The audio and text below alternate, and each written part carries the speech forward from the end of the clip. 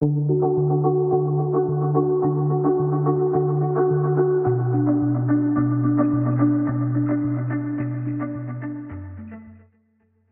erstens ist wichtig, Strom frei machen, damit man da nichts kaputt macht. Dann den Schutzleiter klemmt man als erstes an. Da ist entscheidend, ähm, ob rechts oder links, das ist ein 24 Volt Motor und äh, ob ich das äh, Plus oder Minus verdrehe, entscheidet auch über die Drehrichtung vom Motor. Deswegen klemmen wir den an. Das muss man dann nachher nochmal überprüfen, ob das auch passt. Jetzt klemmen wir es mal so an. So, am besten mit diesem Setzwerkzeug. Da kommt man am besten in diese Aussparung mit rein. So.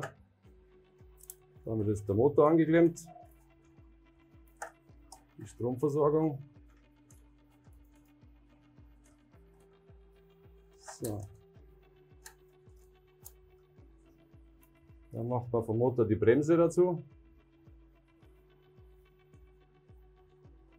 Da ist jetzt Plus und Minus nicht so entscheidend. Es ist nur wichtig, dass auf oder zu geht. Das ist der obere Bereich hier.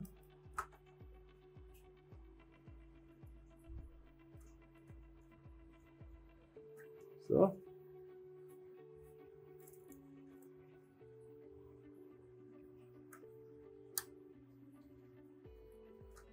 So. Okay. Und dann kommt der Thermoschalter. Da ist von Haus aus eine Brücke normalerweise drin, weil nicht jeder Motor einen Thermoschalter hat. Ist jetzt hier da eine Brücke drin. Die müssen wir jetzt entfernen. Und dann schließen wir den Thermoschalter an.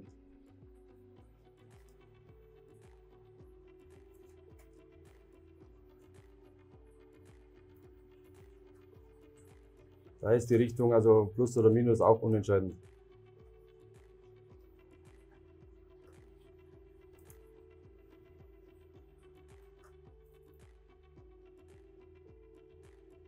Und dann kommt der Impulsgeber, der dafür sorgt, dass wir die Endlagen einstellen können. Der hat drei Adern, Plus, Z und Minus. Plus ist rot, gehört daher.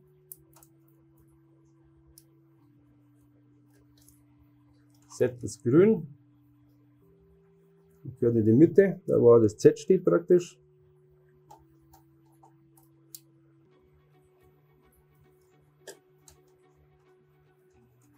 Weiß ist Minus.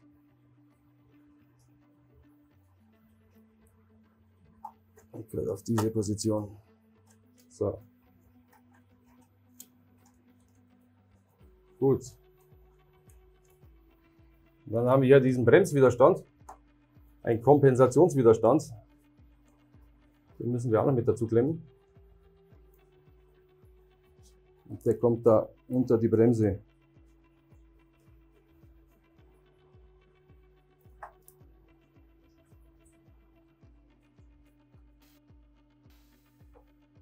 Also dieses Kabel muss vom Elektriker schon reingelegt sein und die Belegung am Schalter sollte eigentlich schon klar sein.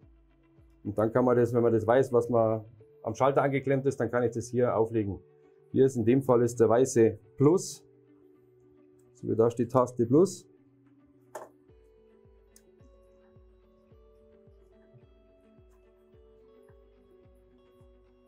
Der braune ist auf.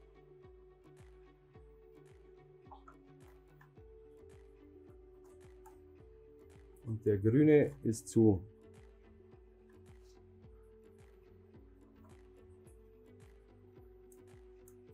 So, somit kann man das jetzt vom Schalter aus bedienen.